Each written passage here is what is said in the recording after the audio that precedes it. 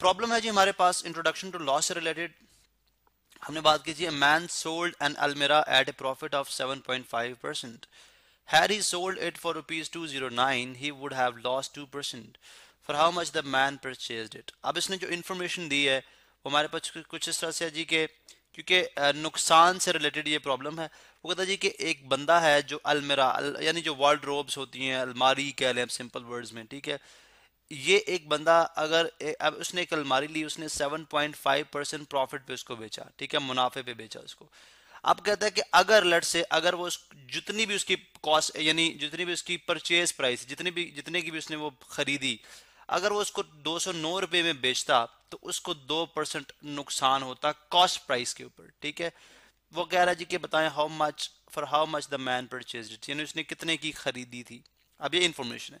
अब देखें प्रॉफिट जो है उसको 7.5 परसेंट हुआ। ठीक है मतलब यू you नो know, उसने ये नहीं पूछा कि बताएँ कि उसने फाइनली कितने की जो है वो सेल की। लेकिन वो इतना ज़रूर बता रहा है कि अगर वो दो सौ की सेल करता ठीक है तो फिर उसको जितने की भी उसने खरीदी थी दो परसेंट लॉस होता। अब लॉस कैसे निकलता है? लॉस तो हमारे पास आता है। लॉस में हम क्या करते हैं?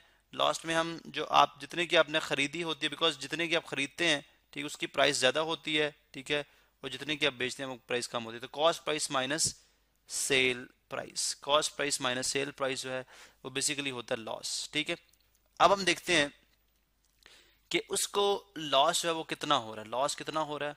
लॉस उसको हो रहा है। लॉस उसको होता है two percent two percent of चलें कलर चेंज कर लेते हैं यहाँ पे।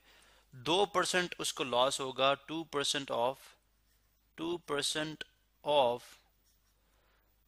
cost price अब कॉस्ट प्राइस तो हमें पता नहीं है तो हम मालूम कर आई मीन जो उसकी परचेज प्राइस है, वो तो हम मालूम करने जा रहे हैं। वो तो हमें पता ही नहीं है उसने किस, कितने की खरीदी थी, ठीक है? बिकॉज़ ये हमें इंफॉर्मेशन यहाँ पे मालूम नहीं है। तो हमने क्या दिया, फ़र्ज़ करें जी, उसकी जो परचेज प्राइस है, वो एक्स है, ठीक है? अब जो कॉस्ट प्राइस है कॉस्ट प्राइस जो है, ठीक है? वो यहाँ पे देखें तो कॉस्ट प्राइस जो है, वो आपने एक्स सपोज़ कर ली है एम माइनस सेल प्राइस है टू ज़ीरो नाइन। तो ये हमारे पास अभी सिचुएशन बन रही है, ये हमारे पास सिचुएशन बन रही है। मतलब कि two percent of purchase price ठीक है, यानी दो परसेंट उसको लॉस होगा, ठीक है। अगर वो एक चीज़ जो उसने एक्स रुपीज़ की ली थी और उसको टू ज़ीरो नाइन रुपीज़ में बेच दे। अब यहाँ से अगर हम एक्स को सॉल्व कर लें तो हमारे पास कॉस्ट प्राइस या परचेज प्राइस आ जाएगी। अब यहाँ पे देखें, बहुत सिंपल सा है कि यू नो यहाँ पे हम देखते हैं जी कि two percent two over hundred multiplied by x is equal to x minus two hundred and nine अब टू हंड्रेड एंड नाइन जो है वो आपका left side left hand side पे आ जाएगा।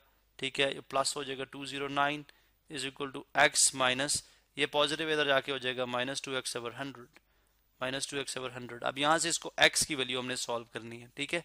किस तरह से कर सकते हैं? बहुत सिंपल से आप डिनोमिनेटर्स इक्वल कर लें multiplied by hundred and divide by hundred and this is two zero nine x over hundred hundred x over hundred minus two x over hundred two x over hundred अब यहाँ से hundred आपका common आ गया और ये बन गया hundred x minus hundred x minus two x is equal to two hundred and nine अब ये हमारे पास बन जाता जी two zero I mean ninety eight x ninety eight x over hundred nine two hundred and nine multiplying वो side by hundred इसको भी hundred से मल्टीप्लाई कर दें, इसको भी हंड्रेड से मल्टीप्लाई कर दें, ठीक है हंड्रेड हंड्रेड से कैंसिल आउट हो जाएगा।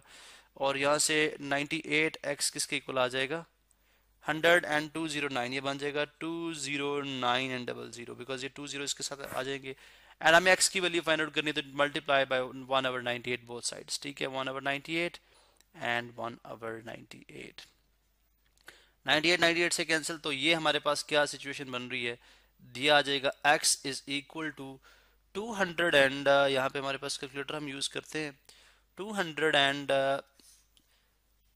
2900 2900 को अगर मैं डिवाइड कर दूँ विद 98 98 तो मेरे पास आंसर आ जाएगा 213.265 जिसको अगर मैं राउंड ऑफ़ करूँ तो ये बन जाएगा रुपीज़ रुपीस 213 तो ये मेरे पास आंसर होगा। यानी इतने की उसने जो है वो खरीदी थी, इतने की उसने खरीदी थी। अब इस पर अगर आप 7.5 परसेंट प्रॉफिट लगा के प्रॉफिट लगाएँगे तो डेफिनेटली आपको पता चल जाएगा कि उसने बेची अब कितने की। बिकॉज़ लेकिन उसने क्योंकि क्वेश्चन में पूछा नहीं है, सिर्फ़ उसने हमारे से जो इन्फॉर्मेशन मांगी है, वो कौन सी है, वो सिर्फ़ ये है कि उसने कितने की जो है वो परचेज की थी, उसने कितने की परचेज की थी? तो हमने वो फाइंड आउट कर दिया कि अकॉर्डिंग टू द इंफॉर्मेशन यानी जो इन्फॉर्मेशन आपको सेकंड सेंटेंस में गिवन थी, वो हमारे लिए ज़्यादा फ्रूटफुल रही है, जिसके तहत हमने बोला जी कि लॉस जो है वो किसके बराबर होगा?